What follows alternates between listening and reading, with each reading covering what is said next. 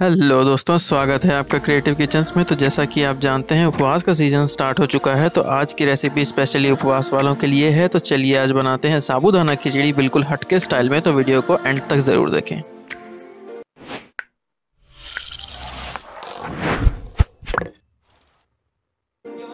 सबसे पहले हम कर लेंगे मूंगफली को रोस्ट एक पैन को गर्म करके अच्छे तरीके से मूंगफली को हम करेंगे रोस्ट अब इसमें आपको स्पेशल तरीका बताता हूँ मैं रोस्ट करने का, जिससे आपकी मूंगफलियाँ फीकी नहीं रहेंगी। जब आप मूंगफलियों को रोस्ट कर रहे हो, उसमें नमक डाल लें। अब अगर आप उपवास के लिए बना रहे हैं तो सेंधा नमक डाल लें। अगर आप नॉर्मली बना रहे हैं तो नॉर्मल नमक का भी यूज़ कर सकते हैं। कुछ इस तरीके से करेंगे रोस्ट इसमें फ़ायदा ये है कि जब रोस्ट करते करते हमारी मूंगफलियाँ थोड़ी सी क्रैक होने लगेंगी तो उस क्रैक के अंदर ये नमक जाएगा। जिसके वजह से मूंगफलियाँ फीकी नहीं होंगी। और नमक डालने से इवनली हीट स्प्रेड हो जाती है मूंगफलियों के ऊपर। एक बार ये तरीका अपना के देखें, बहुत बढ़िया तरीका है। अच्छे तरीके से हम इसे करेंगे रोस्ट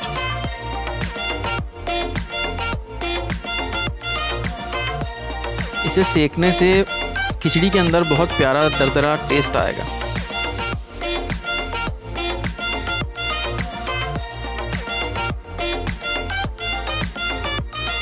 अच्छे तरीके से कर दे रोस्ट।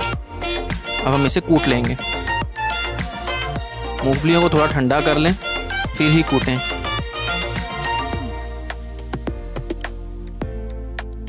देखिए, कुछ इस तरीके से हो जाएगी। फिर हम एक पैन में ऐड करेंगे घी। घी को अच्छे तरीके से पिघलने दें। जब घी पिघल जाए, हम ऐड करेंगे जीरा। जीरे को चटकने देंगे। हम ऐड करेंगे कटे हुए पटैटोस आलू को अच्छे तरीके से हमें शैलो फ्राई कर लेना है। अच्छे तरीके से।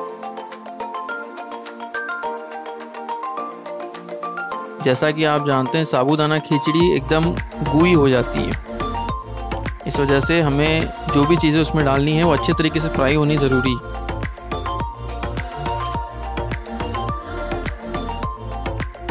अच्छे तरीके से इसे हमें फ्राई करना है। देखिए, बिल्कुल कलर आने लगा है।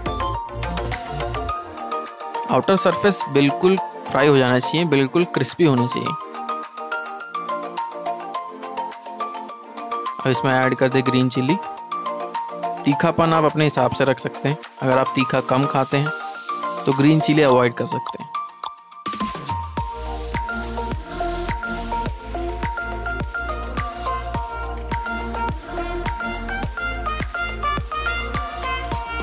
अब इसमें हम ऐड कर देंगे रोस्टेड पीनट्स जो हमने उसे कूटा था, वो हम इसमें ऐड कर देंगे। अच्छे तरीके से करेंगे मिक्स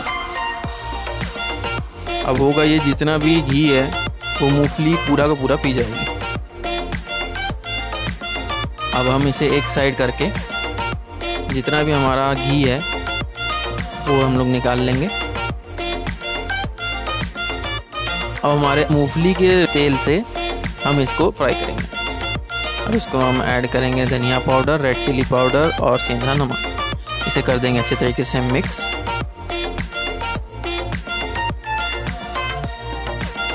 अब ये बहुत ज़्यादा ड्राई हो जाएगा, क्योंकि इसमें मसाले गए हैं, बहुत ज़्यादा ये ड्राई हो जाएगा। इसलिए हम थोड़ा सा ऐड कर देंगे ऑयल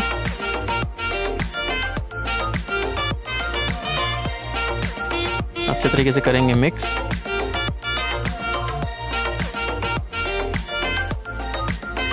ऑयल डालने से मसाले पकने में भी मदद हो जाएगी। जैसे ये थोड़ा सा पक जाए, हम इसमें ऐड करेंगे हरा धनिया। धनिया को रफली मैंने हाथ से तोड़ के डाल दिया है। एक बहुत प्यारा टेस्ट देता है ऐसे कुछ इस तरह से डाल लें। देखिए आलू बिल्कुल पक चुके हैं।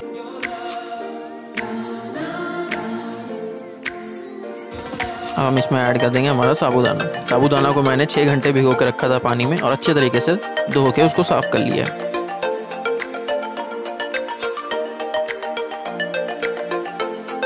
अच्छे तरीके से करेंगे मिक्स अब इसमें इसकी आँच होनी चाहिए धीमी, वरना सारे के सारे साबूदाना चिपक जाएँगे। अगर आप चाहते हैं कि आपका एक एक साबूदाना अलग रहे, आँच बिल्कुल धीमी धीमी रखें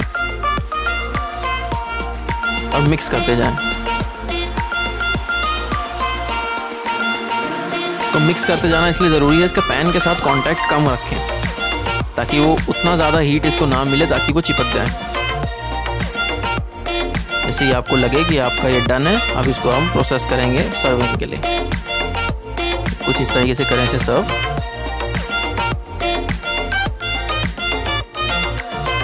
फिनिश कर दे धनिया से।